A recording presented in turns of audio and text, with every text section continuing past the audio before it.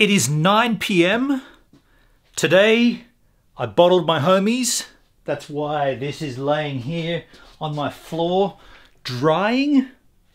So now I have 34 long necks of Cooper's Pale Ale. Oops, excuse me. In there. And that will sit there for a month. So the process from now is to let them secondary ferment. And that is how the beer becomes fizzy. So the first fermentation happens in the massive canister in the bathroom. That's primary fermentation, and that's how the yeast reacts with the sugars and becomes alcohol. And the secondary fermentation is happening right behind me for a month. What are we now? The 29th of July. So the 29th of August, which is my birthday. I did not time that that way, but bam, 29th of August, that brew will become ready. And you know I'm going to have it on my birthday. I'm going to show you guys that as well. So now, the NBN fiasco in Culburra Beach.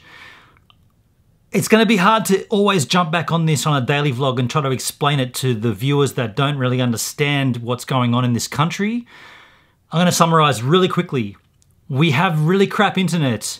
The government's giving us internet but they're giving us the internet which we probably should have been given back in 1995.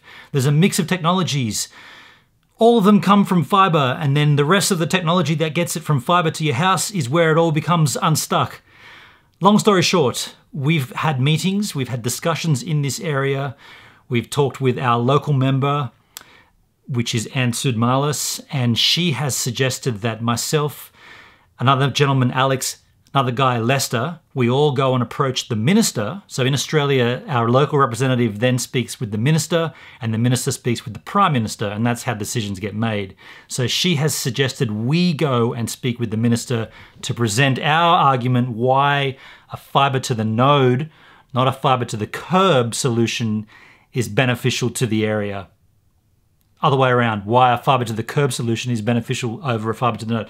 I'm so caught up in this Here's the question. So, here's where is my question? I didn't even get it ready. My question to the minister reads thus.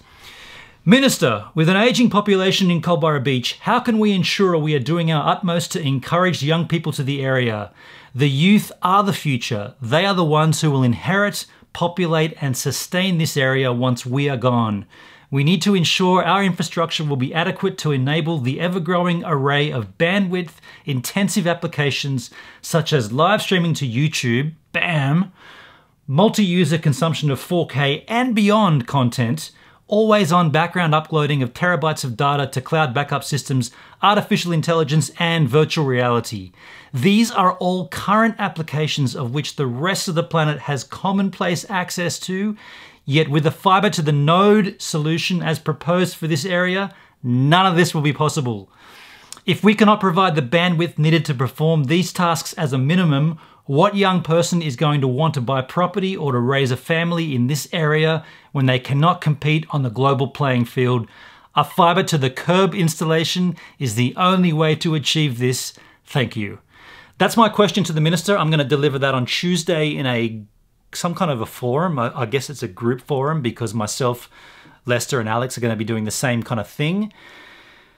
Where this comes unstuck is that our local rep, Ann, wants us to survey this area to find out whether they actually want a fibre to the curb solution.